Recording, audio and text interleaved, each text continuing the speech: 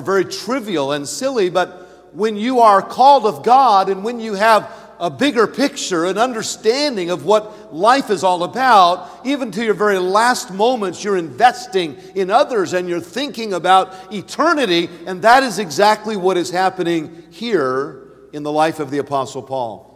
In fact, I find it quite touching to hear Paul say in verse 21 to Timothy, Timothy, do thy diligence to come by winter. Paul was anxious to see Timothy. No one was more precious to him than this spiritual son. Uh, no doubt uh, they met there at Lystra. I believe one of the first glimpses of, of Paul that Timothy ever had was when Paul was stoned and left outside of Lystra. And, and, it was there that he saw this preacher man in a pool of blood and surrounded uh, with a pile of rocks. And, and there was something in his heart that must have understood the love of the Apostle Paul. And no doubt, Paul loved the church there and he had nearly given his life for it. And, and uh, Timothy had been so faithful ever since. Timothy had avoided the drifting of heart and the drifting of philosophy that some younger men would experience. He seemingly avoided the idea of differentiating himself from his mentor. He was a young man that was holding to the truth and not looking back. It's interesting to me that there are a generation of younger men who have built nothing, not a bus route, not a Sunday school class, not a church, and they're so willing to tell men who have built something what they need to change. Now, don't misunderstand me. I, I have no trouble learning from a younger man, and I have no trouble maybe changing or adapting something technologically, methodology wise. We can certainly learn, but the fact of the matter was, Timothy well understood Paul was the apostle, and he had this heart to learn, and his goal in life was not to differentiate himself from the apostle, but in the proper spirit of mentorship to somehow emulate the strengths of this great man of God. And so, as Paul is writing to Timothy, and of course, we could spend many, many weeks in these chapters, but as we look at this last portion of this challenge and this last will and testament, I want you to notice three final admonitions that are given to this preacher, Timothy. I want you to notice, first of all, the fight of the apostle. He speaks about the ministry as a battle, and he says something very amazing to Timothy in verse 14. He says, Alexander the coppersmith did me much evil. The Lord reward him according to his works, of whom be thou aware also, for he hath greatly withstood our words. You know, I believe at times we can make a mistake when we try to uh, characterize the ministry as just a constant youth activity, a constant Bible school, a constant uh, summer camp. I really believe the Apostle Paul was laying it down on the line and he was letting Timothy know listen, Timothy, the ministry is a battle and I want you to know we have some enemies along the way, and the devil's going to fight and do everything he can to destroy uh, the work of God. In fact, you'll recall uh, the very famous words of the apostle in verse 7 I have fought a good fight. I have finished my course. I have kept the faith. It is a battle, and it seems like the battle is at every level. We have the world, the flesh, and the devil. We have uh, recently Democratic candidates for president who were asked if they were elected president, uh, uh, would they take away the tax exemption from churches uh, if churches actually taught in the pulpit that marriage is between a man and a woman. And just that fast, Beto O'Rourke and others said, yes, we would take away uh, the tax exemption. There is no doubt uh, that there's an attack today on the religious liberties of Americans in this land. There is no doubt today that there's an attack on the Word of God by the liberal element. It's been going on and it's a resurging matter even to this day. The emergent church, and it's touched entire cities here in Michigan and across this country. We see uh, the rampant uh, compromise theologically. I'm just saying the devil's fighting the church house and he's fighting in the government house and he's fighting in the home. He's always fighting. And Paul said, I have fought a good fight. The question tonight is not, will you face a battle tomorrow or will I face a battle tomorrow? The question is, will we stand in that battle in the power of the Holy Spirit and fight that battle? And Paul said, I have fought a good fight. And, and, and he, he reminds Timothy of this. And I think so so vitally so. He reminds him of the presence of opposition. He says here in verse 14, Alexander the coppersmith did me much evil. Now, consider the identity of this particular man, Alexander the coppersmith, and I find this interesting. We read about him in Acts chapter 19, we're introduced to him in verse 33. It says, And they drew Alexander out of the multitude, and the Jews putting him forward. And Alexander beckoned with the hand and would have made his defense unto the people. But when they knew that he was a Jew, all with one voice about the space of two hours cried out, Great is Diana uh, of the Ephesians. And what you find in Acts 19 is that Alexander was beckoning on behalf of the Apostle Paul. He was an ally of the Apostle Paul, he was uh, identifying at that moment with him. Later, we read about uh, Alexander in 1 Timothy chapter 1 and verse 19, however. And the Bible says here, holding faith and a good conscience, which some, having put away concerning faith, have made shipwreck, of whom is Hymenaeus and Alexander, whom I have delivered unto Satan, that they may learn not to blaspheme. I think one of the hardest lessons in ministry for all of us is to learn to keep our eyes on the Lord Jesus Christ. It could have been that back at Ephesus, when Paul uh, was there in the midst of that revival and, and uh, people were burning their curious arts and witchcraft, and, and then the persecution was coming against him, and, and, and Alexander was someone that spoke up for him. It could have been that Paul might have thought, boy, it's a good thing that Alexander's on our side. But I'm going to tell you something. Some of the very people that tell you in ministry, I love you, preacher, I'm with you, preacher, I'll take a bullet for you, preacher, might put a bullet in you five years later. Our trust must not be in men, it must be in God. And Alexander the coppersmith was one that had fallen away from his uh, identity with the Apostle Paul. And, and Paul saw that Alexander was one who had made his life a shipwreck. He had lost faith and gone against his conscience. And Paul says that he had to turn Alexander over to Satan that he might learn not to blaspheme. And, and, and imagine uh, uh, coming to that level of church discipline. I mean, sometimes we think about Matthew 18, and, and very few churches have ever had uh, a public moment where they uh, publicly name and, and uh, for the sake of restoration get involved in Matthew 18 discipline. Much less have you ever seen a service where someone someone is turned over to Satan. I've had a few times I'd like to have some services like that. But we just never have done it. Maybe I'm a compromiser. Maybe you guys do it out here in Michigan every Sunday. I don't think so. But that's what it had come to with Alexander the coppersmith.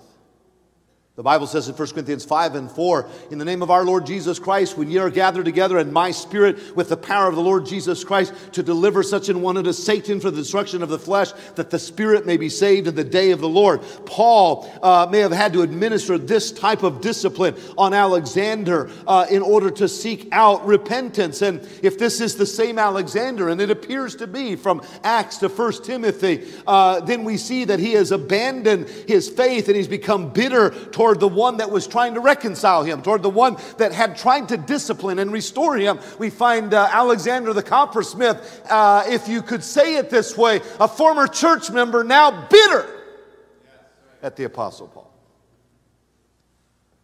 We see the identity of the man. I want you to see the injury of the man. Paul says, and notice this, please, in verse 14 Alexander the coppersmith did me much evil much evil. He was troublesome. He was injurious. You know, sometimes you need to tell a younger man in ministry that there are, going to be some hurts in the ministry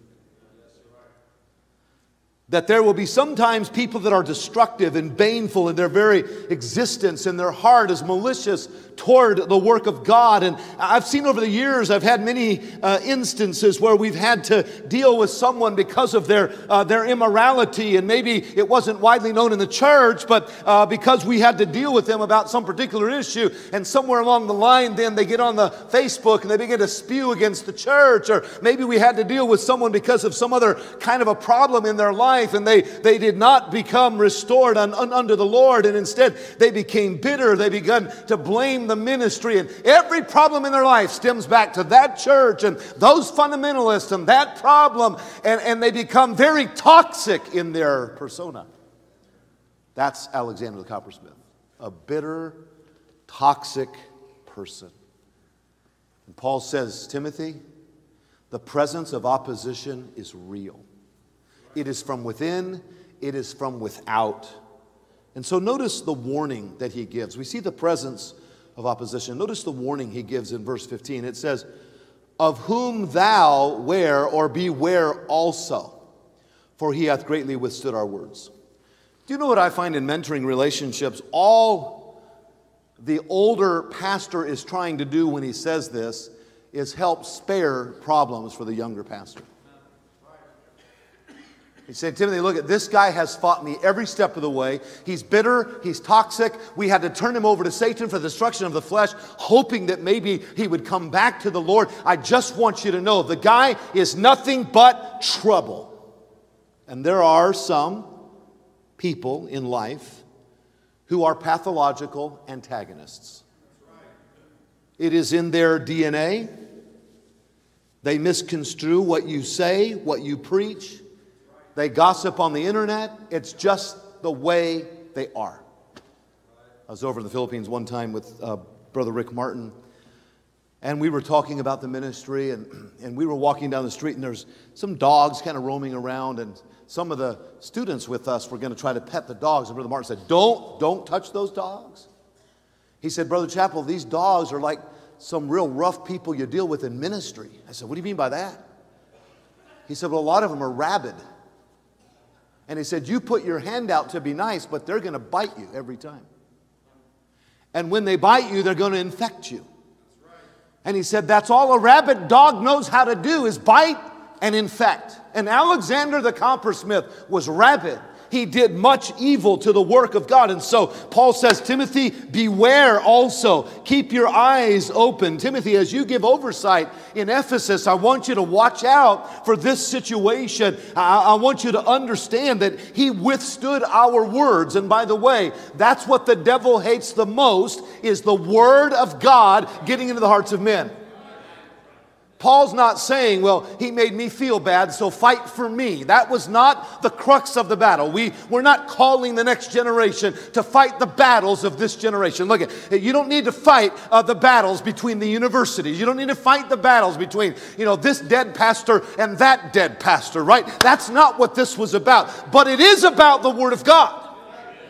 And Paul is saying to Timothy, Timothy, you've got to beware and you've got to fight your battle because the battle is over the Word of God. And, and Titus, uh, uh, Timothy, you've got to understand that Alexander was withstanding God's Word. Isn't it amazing how Satan fights the preaching of the Word of God?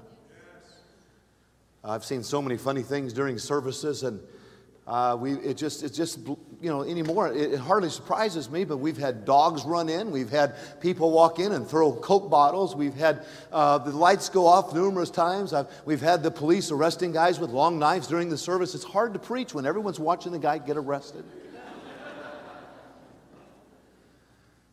and it's amazing to me how Satan likes to get our attention off of the Word of God. We were starting college a few well, about a few months ago, I guess now, several weeks ago, and and uh, we had a wonderful group of freshmen coming in, and a lot of parents were with them. And there was this one, this one family. I took a picture with them by the donut wall. How many of you love donut walls? Boy, those are great. And we're standing there, and I took a picture with them. And I just sensed when I was talking to this this family that uh, they were maybe not saved. And I was, you know, trying to discern the, the parents that were coming in and what, what their spiritual condition was. And it seemed like every time there was a service where they would come in, something would happen and they would walk out. And they'd have a phone call, they'd have this, they'd have that. And even the Wednesday night service, they came, but they came late, they left a little early. And it, it just seemed like there was always a distraction for them. After that Wednesday evening service, I found these folks and I I said, It's been nice to have you here these last few days, and we're glad your son AJ's in the college. And, and uh, I said, Folks, let me ask you a question. I said, Do you know for sure if you died that you'd spend eternity in heaven? Have you ever settled that issue in your own life? They'd come all the way from Hawaii with their son and they kind of put their heads down. They said, We're Catholic. I said, Oh, that's all right. I said, My, my wife was Catholic. I said, That's really not the question. The question really is more about a relationship with the Lord. And they said, Well, we need to go right now. I said, All right, I'll tell you what. I'm going to be up in my office all morning tomorrow, and I just want you to feel free to come by and, and, uh, and, and see me if you have any questions about this matter. I'd be glad to talk with you. You know, it was amazing that Thursday morning. I mean, I had appointments just stacked, stacked, stacked. I had about a 10 minute spot. The secretary said, That family's here from Hawaii. They want to talk to you. And they came up into the office and they were gloriously saved. We called their son AJ. They came up, we took a picture, and we hugged and prayed. And, and you know, the fact of the matter was, the devil didn't want them to hear the word that week. But when people come under the Word of God, it is quick, it is powerful, it is life changing. And here we see the importance of God's Word and, and yet the battle that is waged against it. The Bible says in 1 Timothy 1, uh, chapter 4, and verse 1 Now the Spirit speaketh expressly that in the latter times some shall depart from the faith, giving heed to seducing spirits and doctrines of devils, speaking lies in hypocrisy, having their conscience seared with a hot iron. The Bible says, Evil men and seducers shall wax worse and worse, deceiving deceiving and being deceived. The devil's always deceiving, he's always drawing people away. But our job is to lift up the Lord Jesus Christ and to preach the word of God. And Paul the apostle simply saying, Timothy, it's going to be a battle. Not everyone's going to say, Welcome to town. Uh, Alexander the coppersmith didn't mean much evil. And I want to say it doesn't feel good. You've had it, I've had it. But that's one of the marks of ministry is when the battle is raging. Notice, secondly, not only the fight of the apostle, the flight from the apostle. The flight from the apostle. Look at verse 16. It says, uh, rather, uh, uh, look here at verse uh, 10. It says, For Demas hath forsaken me. Demas hath forsaken me. Notice verse 16. At first answer, no man stood with me, but all men forsook me. Now, when I read these verses, I, my heart sinks.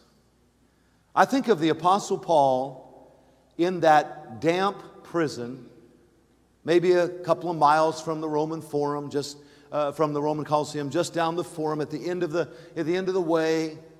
Built about 500 BC, it was already a very old prison. You could probably get 30 or 40 bodies in there, and they crammed it in with people. And here he is in this prison awaiting death and amongst the main things on his mind are the people that had forsaken him. The people that he had invested in, preached to, prayed for, discipled, people that he'd tried to help that had completely left the faith, that were no longer speaking to him. And in fact, he says in verse 16, At my first answer, no one stood with me. If I understand this properly, in this particular time of the Roman government, you were given three opportunities for defense. You could stand and you could plead your case three different times, and you had your day in court, so to speak. And Paul says that when he went for his first time, at his first time, no man stood with him. Some scholars believe Alexander the coppersmith stood against him at that day. Sometimes in the ministry there are battles, and sometimes there is loneliness. And Paul says, Timothy, I, I want you to understand that that you may be forsaken by your friends. He says in verse 16, they all forsook me. And as he awaited uh, this uh, martyrdom under the leadership of Nero, he said, I, I, I want you to realize that, that uh, I've had to be here alone, Timothy. Would you try to come before winter? Because I'd really like to see your face just one more time. And as, as I'm at this first trial, I'm realizing that while there are a few believers around me, not even one of them came to be with me. Here we see a forsaking by his friends. We also hear about some friends who prayed, some friends who were concerned for him. We, we hear that Luke was with him. And by the way, thank God for those that cared. There's two people in the church, two categories, you might say. There's the pastor and there's those that help the pastor. If you're not a pastor tonight, can I encourage you? Be a Luke. Luke is with me. Don't be a Demas. Don't, don't let yourself feel like, well, someone's got to correct Brother Howell, someone's got to keep him humble. Can I tell you something? The devil will keep him plenty humble. You make it your mission to encourage him in the ministry. We see the fight of the apostle, we see the flight from the apostle. But notice finally tonight the fortification of the apostle. The Bible says in verse 17 these wonderful words. It says, Notwithstanding, the Lord stood with me and strengthened me. Let's say that together. Notwithstanding, the Lord stood with me and strengthened me. Here we see uh, the strengthening of the Lord. And we see the Lord stood with him. And this is absolutely the only way that we will stand, is as the Lord stands with us. And Paul found that God's strength in him was sufficient. He said, I can do all things through Christ, which strengtheneth me. The Lord had kept his promise. The Bible tells us about it in Acts 9 and 15. But the Lord said unto him, Go thy way, for he is a chosen vessel unto me, to bear my name before the Gentiles and kings and the children of Israel. For I will show him how great things he must suffer for my name's sake. God said, I'm going to use you greatly, and you're going to suffer greatly, but I will never leave you, and I will never forsake you. My grace will be sufficient for you. And here we see that the Lord was standing with him, keeping his promises to him, and preserving him every step of the way. And yes, we're going to have criticisms, and yes, we're going to have enemies, and yes, we're going to have days of loneliness. But Jesus Christ is the same yesterday, today, and forever, and he will strengthen us and stand with us, whether we be in a jail cell, or whether we be heartbroken over someone that just criticized, or someone that just left the church church, no matter what's going on in your life or ministry, Jesus is there all the time. He stood with me. He strengthened me. In fact, He preserves us. The Bible says in verse 17 that by me the preaching might be fully known and that all the Gentiles might hear. And I was delivered out of the mouth of the lion. Speaking, I believe, here of standing before Nero that first time, he's saying, God preserved me at that first hearing. No one else was with me, but God was with me. And he said, God's going to preserve me uh, in every single situation, whether in life or in death we are on the winning side in Jesus Christ. And so, Paul the Apostle was simply testifying that it was the strength of the Lord that had brought him thus far, and it would be the strength of the Lord that would help him to carry on. But I want you to see very quickly not only the strengthening of the Lord, which is our only hope, but the encouragement of Timothy. The encouragement of Timothy in his life. Look at verse 19. It says, Salute Priscilla and Aquila and the household of Onesiphorus. These certainly were great encouragers to Paul. Erastus abode at Corinth, Trophimus have I left at him sick. Verse 21 Do thy diligence to come before winter. Now, here we see that Paul looked for the moment to be reunited with this student, this Timothy. Perhaps you, like I have endeavored in my life, have mentored some men in the ministry. Some, some you'll never hear from again. Some will choose a different direction. And what's great about that is when they do, and then they blame you for their direction. Has it ever occurred to you that people actually can make up their own minds when they become adults? I think I can understand a little bit of Paul's heart here if you've been in the ministry any while at all. There's some people you preach to and you train and you work with them, and, and, and it seems like they'll, they'll go right along in the doctrine and the philosophy and the soul winning. It's amazing, like Timothy, to see God at work in their life. There's another category, they'll do some things differently, some things you didn't teach them, but at least they have a sweeter spirit towards you. They call you up, they talk to you once in a while. There's, there are others, perhaps like a Demas, that not only are taking a radically different path, but their spirit is completely different. I think Paul's kind of surveying in his mind all these people that he had mentored, all these people that he had known. Some were very caustic, like Alexander, and others he didn't even know who they were, like Demas. But when he thought about Timothy, he thought, you know, I'd like to see him one more time before I die. He encourages my heart. May I say to the younger pastors tonight, there's nothing more encouraging to someone who's been at the battle for a while than to see a young millennial type pastor standing up with the Word of God being faithful. Such a great encouragement Timothy was.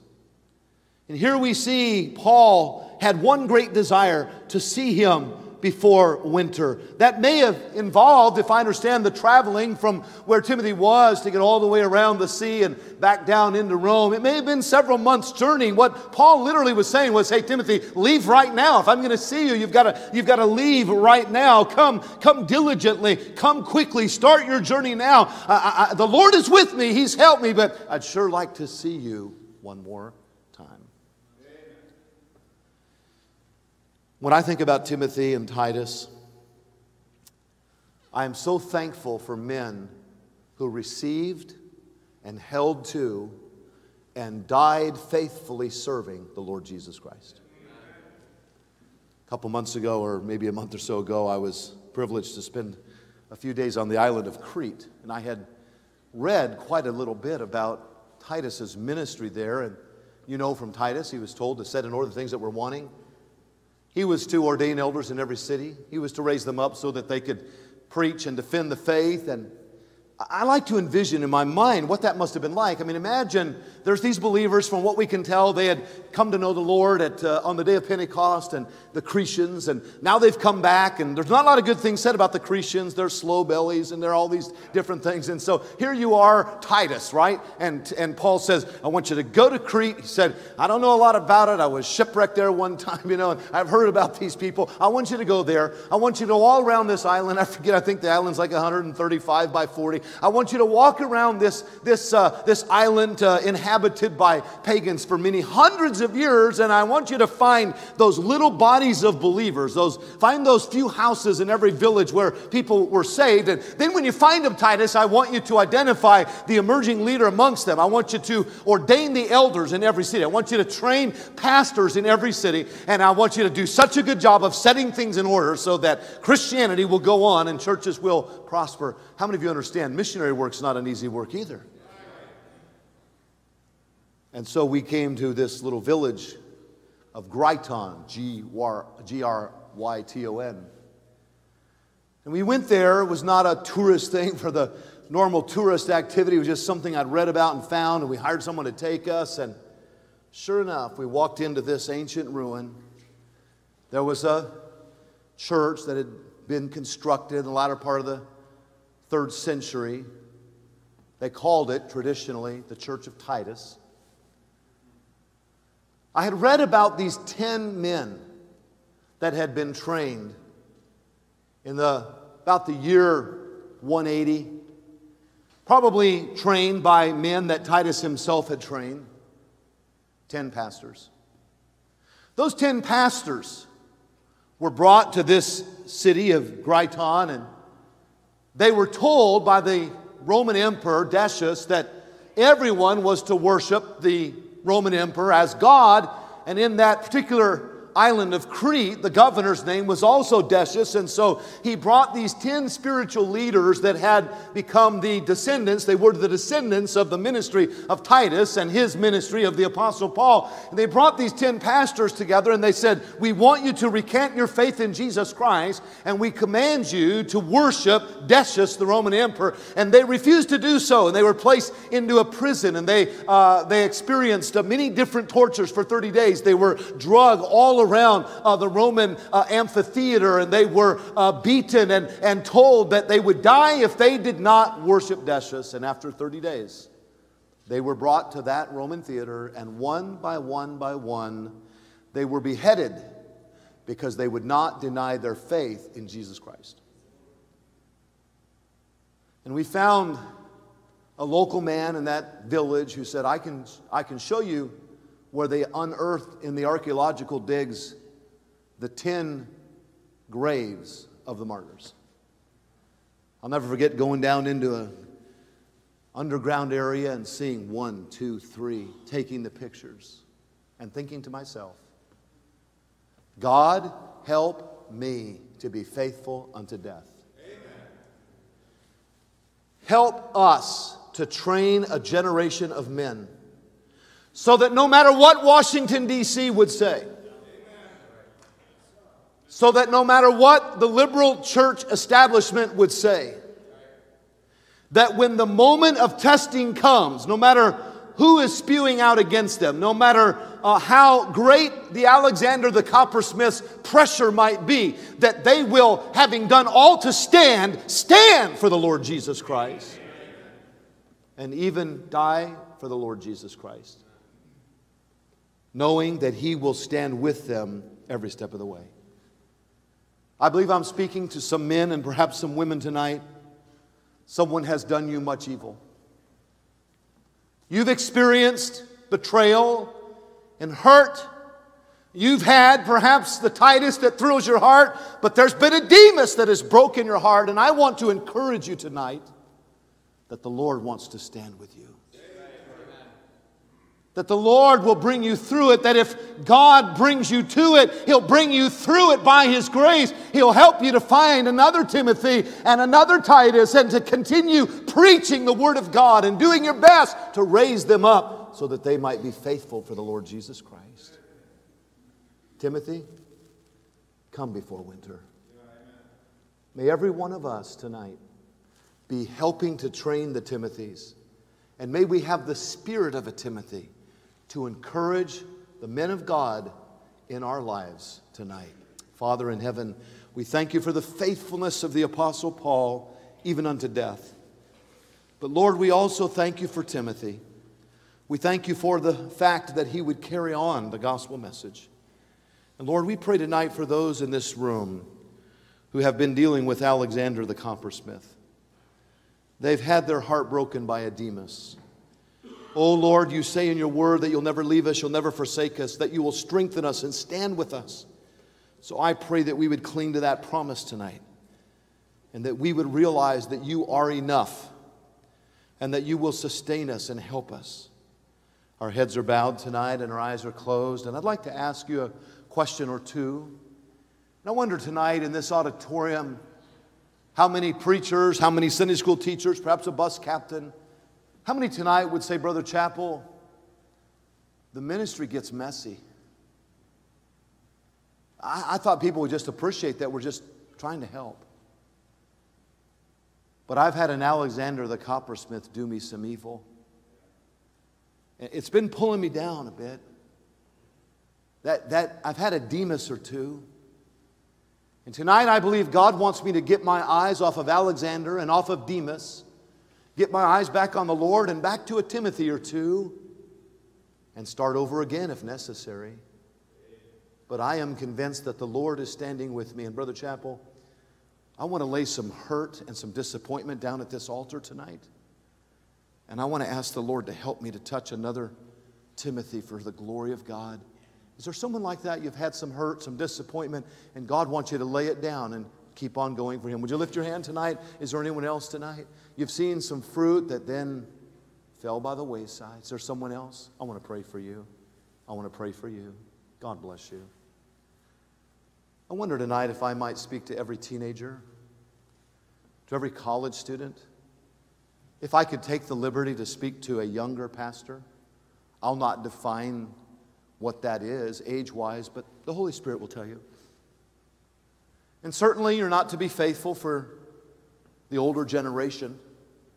We're to be faithful to the Lord. But I wonder if there isn't a younger person here tonight who would say, You know, Brother Chappell, I'd like to be the kind of Christian that when some battle wearied pastor thinks of me, he would like me to come. He would like to see me, that my presence would encourage my pastor that my presence would encourage that man of God. And you might say, I'm not a preacher tonight, but I would like to come before winter if I'm ever needed. I want to be a blessing. If God's speaking to your heart about being a blessing to those that would preach the Word of God, may I pray with you? Would you lift your hand tonight if God's speaking to your heart? Maybe a teenager, maybe a college student, maybe a staff member. I want to be that one. that's asked for to come before winter. God bless you. Our Father in heaven, I want to pray for every Christian worker who's dealing with an Alexander, who's dealing perhaps with a Demas, who's, who's bearing a difficult situation in their heart. Lord, not everyone that we teach, not everyone that we mentor is going to follow the path that we've tried to show them scripturally. Help us to have grace in our hearts. Help us to have strength that comes from you standing with us. Father, would you minister to these tonight with grace and mercy? Would you help them to know that there's someone else that needs their love and encouragement? And then I pray for those many young people and younger pastors who said, I'd like to be that one that comes before winter. I'd like to be that encouraging one to some man of God. Bless the staff that raised their hands and others, Lord. Use them to be that Barnabas, that helper, that encouragement that they desire to be. And Lord, if there's anyone here tonight that's not a Christian, that never has settled the fact that their sin is forgiven, they're on their way to heaven, they'd like to know more about the faith, I pray that you would bring them tonight to the saving knowledge of Jesus Christ. And we ask these things in Jesus' name.